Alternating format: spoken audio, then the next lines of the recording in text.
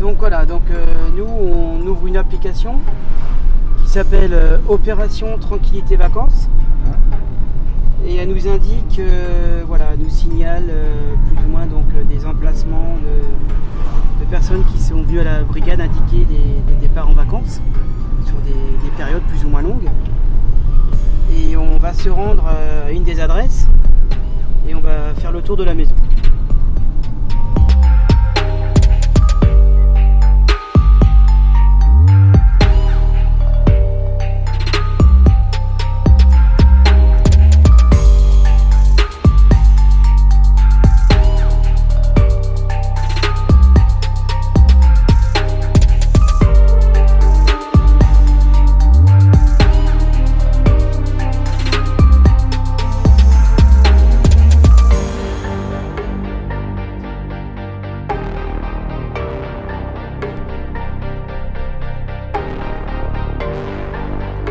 Dans un premier temps, on, leur conseille de venir nous voir pour signaler leur départ.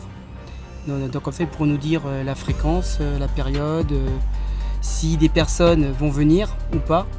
Notamment, il faudrait trouver une personne de confiance pour qu'elle puisse venir ramasser le courrier. Et on leur conseille fortement de ne rien indiquer sur les réseaux sociaux, parce qu'il y a beaucoup qui indiquent Aïe, demain, nous, on part pour trois semaines, Portugal ailleurs, donc non, surtout pas ça. Donc on va passer de façon aléatoire. Ça peut être deux jours comme de nuit.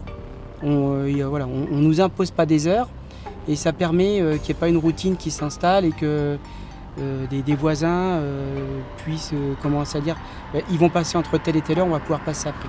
Voilà, ça doit rester imprévisible.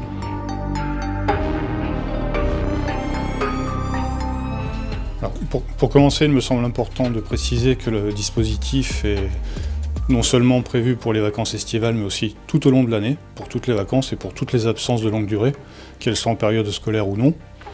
Et ça, depuis 2009, hein, donc c'est pas nouveau, mais c'est méconnu. Et aussi que ce dispositif est entièrement gratuit. Il est relativement simple à mettre en œuvre. Euh, la seule obligation pour la... Donc il s'adresse aux particuliers, essentiellement aux particuliers. Et la seule obligation pour la personne qui souhaite euh, s'inscrire à l'opération Tranquillité Vacances, c'est de se déplacer à la gendarmerie. Donc en l'occurrence ici à la brigade territoriale de Vire-Normandie, rue des Tribunaux. Euh, ensuite, il faut se déplacer avec un justificatif de domicile et éventuellement, c'est recommandé, les renseignements sur les personnes à qui on laisse les, les clés de la maison. Personne à prévenir pendant votre absence. C'est-à-dire numéro de téléphone, identité et moyen de joindre ces personnes. En plus de, de, la partie vacances, on couvre aussi les week-ends prolongés, ça peut être les, différents ponts du mois de mai ou toute période, toute absence euh, au cours de l'année euh, peut justifier une inscription à Tranquillité Vacances. Alors, le but principal, c'est de lutter et de renforcer la lutte contre les cambriolages, contre les atteintes aux biens, notamment au préjudice des particuliers, et aussi de faciliter le travail du gendarme au cours de sa patrouille. Et là, s'il y a un message à faire passer, c'est le suivant, c'est euh, aidez-nous à vous protéger. Euh, si vous ne signalez pas votre départ, le gendarme, il peut pas deviner, vous êtes parti en vacances. Comme vous dites, il se passe des choses un petit peu partout, pas, pas plus ici qu'ailleurs, mais on n'est pas à l'abri, on est à l'abri nulle part.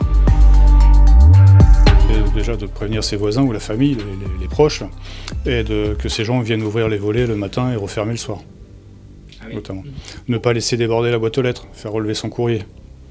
Voilà, tout, un- tout ce qui coule de, source, mais qui, à force, avec le, avec le temps, fait qu'on n'y prend pas garde et on a toujours l'impression d'être préservé et d'habiter dans un endroit où il se passe, entre guillemets, jamais rien.